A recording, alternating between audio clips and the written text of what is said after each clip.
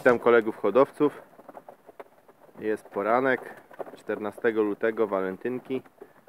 Tak wolie, wygląda woliera. Siatka.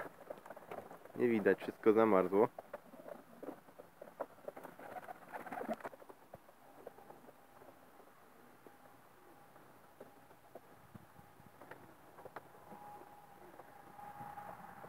Tu siedzą gołąbki. A myślałem dzisiaj łączyć w pary, ale nie wiem, czy przy tym mrozie to ma sens, bo akurat bardzo zimno. Poza tym dzisiaj moja córka ma urodziny, więc może z jeden albo dwa dni sobie jeszcze odpuszczę. Aż będzie trochę korzystniejszy czas, żeby siedzieć w gołębniku. Ale przy okazji dnia zakochanych chciałem życzyć wszystkim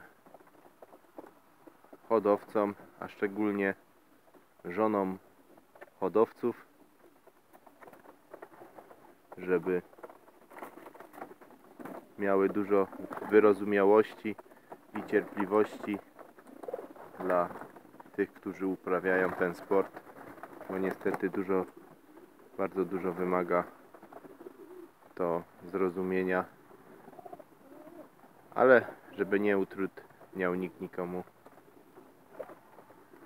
swojej pasji i zawsze można się jakoś dogadać.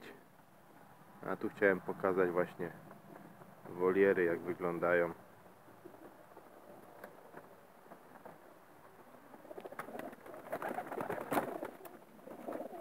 Ładny widok, no ale trochę odpuszczenia ich w pary.